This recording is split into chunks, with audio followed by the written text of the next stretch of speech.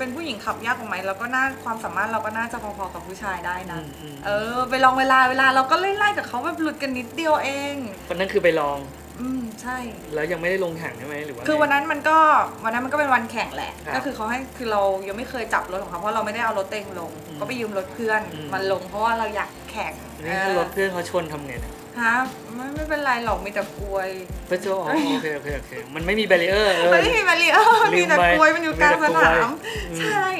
เออเราก็เลยลองไปลงเราก็เลยลองไปเล่นดูอืมแล้วก็เฮ้ยพอจำลายได้มันสนุกนะอืมมันทั้งแบบคือมันทั้งทั้งหมุนทั้งแบบทั้งเป็นตัว S อะไรอย่างเงี้ยอืมมันทำให้เราแบบทำให้เราแบบว่า รู้จักในการเข้าโค้งไงอืมอ่าเวลาในการเข้าโค้งในการเลี้ยวอะไรพวกเนี้ยแล้วก็แบบเออมันน่าสนุกดี จากสนุกความมากเป็นจากความเป็นพิตตี้ที่ไปยืนในสนาม ใช่จนมาเป็นนักแข่ง อ่าคิดว่าผู้หญิงกับความเร็วมันมันคู่กันได้อะอุยสบายมาก จะบอกว่ามีอยู่งานหนึ่งเราไปเป็นพริตตี้ที่สนาม อืมแล้วพอดีว่าเขามีลงรุ่น lady อืม เราอะใส่เกาะอกสีแดงใช่ไหมชุดพริตตี้รองเท้าบูทอืม แล้ววิ่งลงสนามแข่งเลยค่ะ เราไปแข่งกับเขาด้วย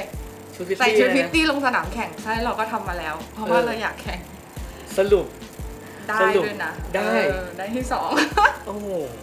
นี่เราอันนี้เขาพิตตี้อันนี้รองเท้าอันนี้เขาบูทต้องเรียกว่าเออ เป็นเรื่องของความกระเสือกกระสนนะ ถูกต้องดันทุลังความดิ้นกรระนเสือกกระสสุนดดิ้นรนดันทุลังใช่ ใช้ได้หมดเลย ๆใช่ เพราะว่ามันเป็นอย่างนั้นจริงๆ นะอนาคตสำหรับการเป็นนักแข่งวางไว้ว่ายังไง มันก็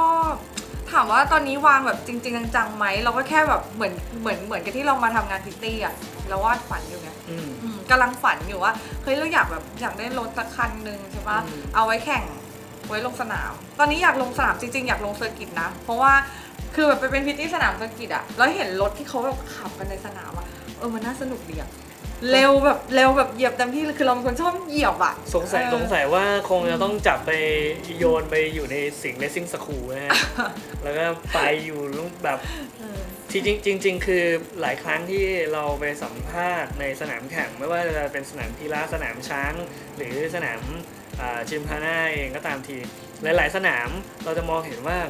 จะมีผู้หญิงอยู่กลุ่มหนึ่งที่รักชอบในมอเตอร์สปอร์ต นะครับรักชอบในความเร็วก็จะเป็นอย่างเงี้ยซึ่งวันหนึ่งเนี่ยเราก็เราก็คาดว่าก็ก็จะมีผู้หญิงเข้ามาอยู่ในวงการมอเตอร์สปอร์ตได้เยอะขึ้น ใช่ เพราะเราเห็นแรงบันดาลใจจากพี่นักแข่งผู้หญิงอืมใช่แบบพี่เขาขับรถเก่งอะอืม แล้วแบบได้ถ้วยแบบตลอดเลยแล้วก็แบบเฮ้ยเราน่าจะทำได้นะ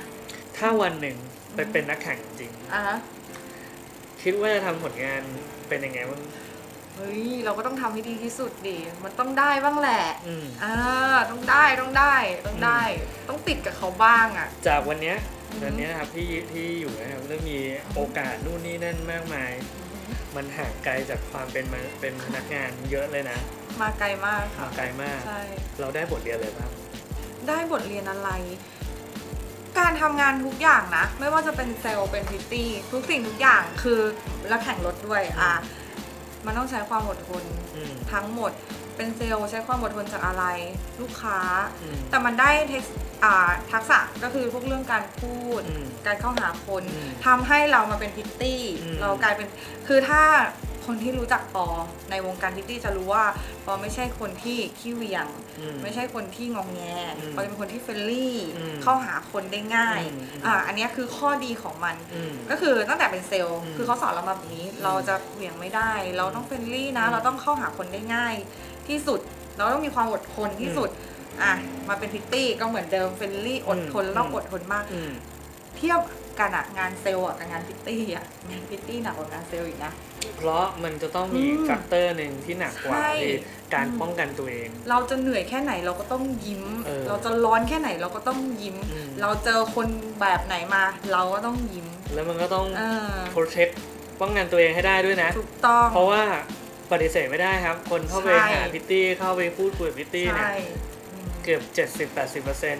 าจจะเข้ามาจีบอาจจะเข้ามาทอดสะพานพูดง่ายๆคือเข้ามาหม้อใส่สะพานเต็มหน้าบ้านแล้วค่ะเอตอนนี้อจะทำยังไงถึงจะหลุดพ้นมาได้ใช่เราก็ต้องวางตัวด้วยไงเออนี่แหละสิ่งการวางตัวนี่คือสิ่งสำคัญมากเลยนะบางทีแบบว่า ถ้าเราวางตัวไม่ดีอะอืมเขาก็จะคิดว่าเราแบบ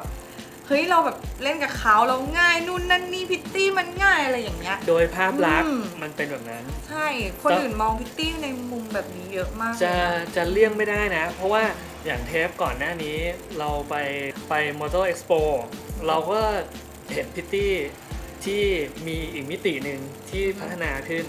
คือไม่ได้โชว์ไม่ได้โชว์ นม ไม่ได้ขายเซ็กซี่อย่างเดียวแต่เออ มันกลายเป็นว่าพอชุดเรียบร้อยขึ้น คนที่เข้ามาก็ต่างกันพิตตี้ใช่พูดเป็นเสียงเดียวกันครับว่าทำให้เธอทั้งหมดใช้ความสามารถได้มากขึ้นจริงๆแล้วการเป็นพิตตี้กับเป็นเซลล์เนี่ยมันต้องใช้ทักษะแต่มันแค่คนละแบบ ใช่ ก็ถามว่าคนละแบบมันก็คล้ายๆกันแหละอืมอืมแต่แค่เป็นเซลล์มันต้องใช้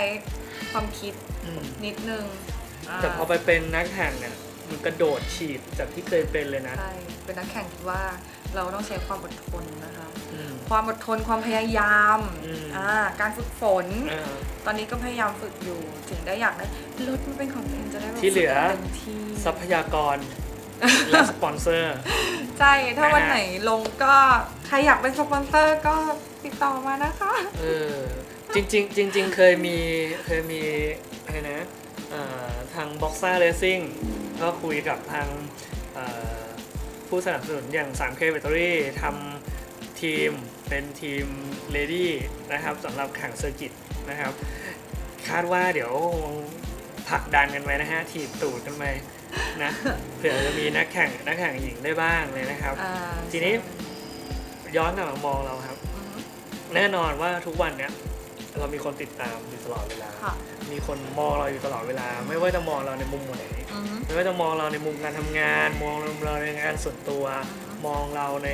มุมอิจฉาริษยาหรือเอ่อเขาเรียกอะไรเดียวสังคมชะนีอะนะอ่าฮะ มันต้องมีอย่างนั้นค่ะ เราอยากให้เขามองเราในมุมไหนบ้าง เราอยากให้เขามองเราในมุมไหนบ้าง คือจริงๆแล้วอะ คือเราอยากให้เขามองเราอะ ในมุม ในมุมแบบไหนอะคือยังไม่อยากให้เขามองเราในมุมที่แบบที่มันไม่โอเคอะคือเราเคยเจอมาแล้วไงยอมรับว่าเราเป็นคนหน้าหยิ่งนะอืมถ้าเราทำหน้านิ่งๆหน้าเราแบบจะหยิ่งมากอืม เออเราก็พยายามยิ้มพยายามเข้าหาทุกคน แต่คือบางทีอะเราไม่รู้จักเขาเราก็แบบทำให้นี่เราก็โดนไปว่ารับหลังนะว่าแบบเฮ้ยทำไม หยิ่งจังอืมอะไรเงี้ยอืมหน้าหยิ่งแบบโดนอย่างเงี้ยบ่อยมากคือหน้าหยิ่งมาก จริงๆเราคือปอไม่ได้หน้าหยิ่งนะคะปอแค่แบบสายตาสั้นค่ะมองไม่ค่อยเห็นใคร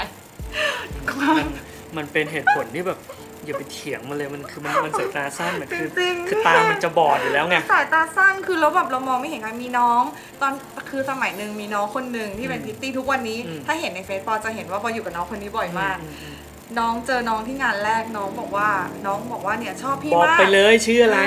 ชื่อน้องพลอย น้องเออพี่พลอย จะเป็นพิตตี้ที่อยู่คู่กันถ้าอยู่หน้าเฟซปอจะเห็น ทุกวันนี้เขาบอกว่าเป็นพี่น้องกันค่ะ หมอเดียวกันค่ะหน้าเลยคล้ายกันเออเออ